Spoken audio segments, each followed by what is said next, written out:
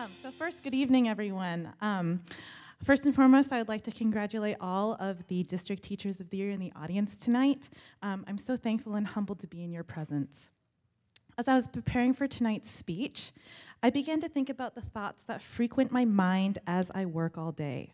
And so tonight, I wanted to share with, uh, to share with you the three thoughts that enter my mind when I work. Number one, my mother and father. They always made my education a priority. They taught me the importance of educating myself and the opportunities it would lead to. Looking back, I now realize all the time and financial sacrifices they made to ensure that my education was maximized.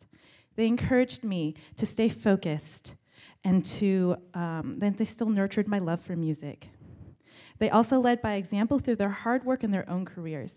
Every day, they inspire me to create an environment that does the exact same thing for my students. The second is all of my educational experience as a past student, musician, and teacher. All of them have influenced my actions and decisions in the classroom. These experiences have continued to whisper words of advice to me um, and have affected my actions and decisions in the classroom.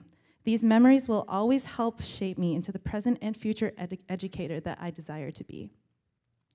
And finally, I have to credit all of my present and former students as the basis of my inspiration. I'm so fortunate to be teaching a subject that allows me to follow some of my students for their entire four years of high school. I have the privilege of watching them become musicians and adults who have a purpose and a passion for life.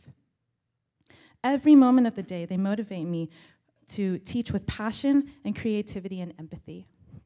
My students inspire me not just to be a better teacher, but they inspire me to be a better human being. These are the things that I always think about every day as I go to work. I hope you've enjoyed them. Thank you so much for the opportunity tonight. Congratulations again to the teachers, and have a wonderful evening.